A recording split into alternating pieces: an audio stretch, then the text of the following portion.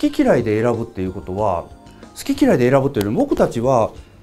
常に常に常に何かをずっと選んでるんですよね。でで選何で僕らはね何を基準で選んでるのかによって人生の流れがすごく変わるっていう話を今日はしようと思ってるんですね。私は結構好き嫌いで生きてるぞという人どのぐらいいます？私は結構好き嫌いで生きてるぞとお結構いるねはいありがとうございますそこに罠があるんだという話もねちょっとしてみたいと思います。好き嫌いって変化するのよ。ということは好き嫌いが生まれる構造があるのね。つまり好き嫌い本当の好き嫌いっていうのは本当のっていうか分からないけどそれね僕が考えた本当の好き嫌いは理由がないものじゃないかなと思ったのね。でもこの好きなものでこれがね今のは趣味思考の話なのよね。今度はそれがじゃあ好きなタイプの人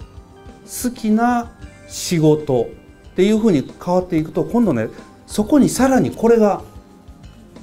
すごい色が濃くなっていくのよ。だから立場とかあのな状況が変わったらその好き嫌いっていうのは結構くるくる裏返るのね。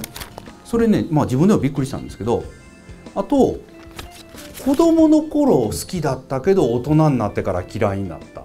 で逆もあり子供の頃嫌いだったのに大人になって好きになった。だからそういうねなんかやっぱり好き嫌いの裏側にはねだから裏側に理由がある好き嫌いっていうのはもしかしたらその何か自分の本質とは違うものかもしれん。